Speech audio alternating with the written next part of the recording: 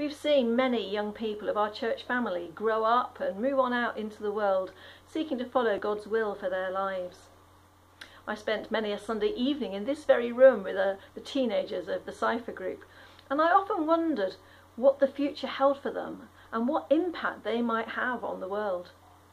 We've managed to track down a few of those young people, now they're grown up, uh, and we've gathered their stories for our next Vox Pops.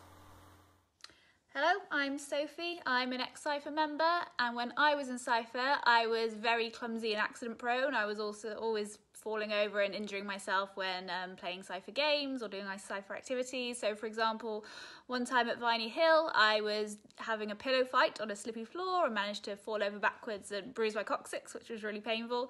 And then another time on an ice skating trip, I fell over again and sprained my ankle. Um, but ironically now, I'm a physiotherapist. So my job is to fix people after they've been injured and get them back to walking or running or other sports or activities that they enjoy. Um, um, I also do lots of other work, so for example in hospitals, um, caring for very poorly people, um, but it's something that I really love and I feel really blessed to be here. Hi, I'm Frances. When I was younger I wanted to be a shoe fitter at Clark's, um, but now I've moved to Leeds and I'm an environmental consultant for an engineering company. Hi, I'm James.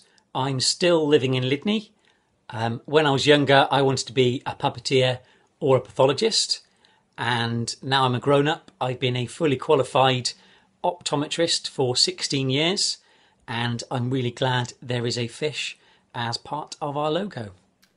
Hello, I'm Beth. Um, I now live in Porthcawl, um, and I'm about to get married in six months' time. Um, and I have started my own company. Um, I trained as a costume designer and maker and then worked as a seamstress and now I've started my own company um, creating a line of clothing specifically designed for people with dementia which will hopefully be launching in September. So it's all exciting things here. Um, I don't really know yet what God's called me. I'm I'm learning as I go along. I've learnt that he's calling me to be a wife as I'm getting married and I've learnt that he's calling me to be a businesswoman and to be an ethical, um, sustainable businesswoman in a world where um, consumerism and money are are very important to people and can sometimes take us away from God. So, um, that's what I feel at the moment. So yeah. Hi folks, I'm John. I'm Janice Newen's boy. Uh, I've been living in Bristol for nearly four years, working as an architectural technologist.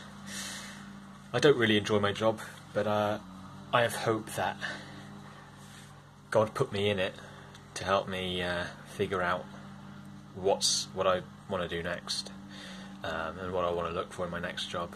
Um, so yeah, I still have optimis- optimism and hope for a good, good future. I hope you're all well. Bye. Hi, my name is Doug Owen. When I was growing up, I wanted to be a fireman and then I wanted to be an architect. But I ended up studying international politics at uni and I now work for a Christian schools work charity in Exeter called ICE. I didn't feel specifically called to do the exact job I'm doing now, but my wife and I felt called to be in Exeter, and I felt God had given me an opportunity to do mission in the city, and that led me to do what I'm doing now. I'm Laura. When I was younger, I wanted to grow up to be a children's illustrator or a speech and language therapist. What I actually grew up to be was a midwife and mother of two boys. I don't feel like either of those roles were specifically a God calling, uh, but I do try to live out God's call on my everyday life uh, through my work as a midwife, being compassionate and not judging others, uh, as well as raising my children to know and love God and to love other people. Hi everybody, um, my name's Luke Jones and I grew up attending St Luke's uh, with my parents Pete and Lainey and uh, my brother Nicholas. Um, as I was growing up, um, I was very into sport. I wanted to be a professional footballer. Um, I played at a, quite a decent level, but it didn't work out in the end. So after that, I was um, continued my uh, bachelor's degree at the University of Bath. Uh, still not sure what I wanted to do, um, but then I did a PhD in Canada, starting in 2007, on the sociology and philosophy of sport. Um, that's where I met my wife, uh, Ali. Um, I came back to the UK and started a position at the University of Hull um, as a sports coaching lecturer. Um, and since then, I've continued my research on sports retirement, coaching female athletes, and also more recently, sports chaplaincy. Um, just recent, actually recently written a paper about encouraging sports chaplains to um, use theology uh, to better inform their practices so that they can uh, um, assist athletes in better ways uh, and actually to kind of help them to understand that they don't have to earn um, God's approval by driven to being successful and achieving their sport, but to rather kind of um, receive God's gifts and to enjoy and kind of uh, manage their lives and their working roles as professional athletes. Um, so um, personally, I've never kind of experienced a, a direct calling that I felt like I should be doing something. However, I've always kind of had a, a conscious uh, awareness of God's presence in my life through good times and blessings, uh, such as uh, the, the, the times I had in sport, and then also more recently um, with my family and, the, and children. But also, I've also recognised God's hand in the, the less fun times that have been challenging, and on reflection, I've seen that His hand has been uh, uh, guiding me in those times as well as in the good times. So hopefully that's helpful. Hi, my name's Noor. Um, I was a member of Cypher from 2009 until 2012, after which I moved to Edinburgh, which is where I live now. Um, I remember always wanting to be a writer when I was younger. I loved writing stories and reading a lot, and I think I always knew I would keep this up despite my path diverging to medicine when I was about 16.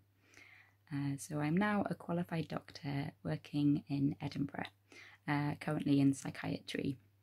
Um, during the COVID 19 pandemic, I have had a longer placement than expected in psychiatry, um, but it's actually strengthened my desire to specialise in uh, this area.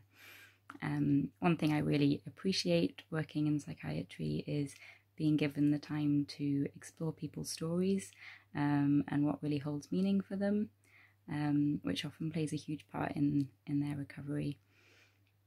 Um, and my journey with faith um, and growing up in the church has definitely informed where I am now um, and the values that I hold, particularly in mental health, where there's still a lot of stigma that my patients have to deal with. Um, and I often feel um, called to provide a non judgmental and compassionate ear to those who have suffered um, and continue to suffer discrimination on, on a daily basis.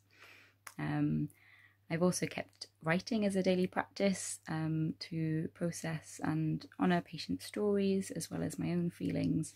Um, and I think the passions you hold when you're younger often provide a lot of wisdom when when making dis- difficult decisions um, growing up. So I definitely, um, yeah, always remember kind of what was what was driving you when when you were younger and what things um, how can they inform um, where you are in the future um, so yeah that's that's me um, i hope you're all keeping safe in these difficult times and are still able to find community um, even though it might be more a distance than than usual Hello, I'm Hannah Tucker and I'm currently living in Tutts with my parents, Roger and Grace.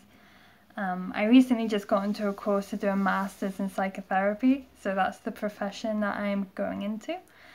Um, God's really placed this on my heart for quite a while, a number of years. Um, just really interested in how we can become more of our best selves, um, get rid of some of the blocks and things that are holding us back um, and step into greater levels of wholeness and well-being um, and just become more of the people that God's calling us to become that he's made us. Um, so yeah I firstly want to do this for myself but then um, just really want to journey with others um, into this and help them on their journey too. It's so lovely to hear these stories of how the young people have grown and developed and how their Christian values have shaped and influenced their lives, which in turn has an influence on the world about them. May God continue to bless them in all their endeavours in the future and as they seek to follow His call and His will for their lives. Amen.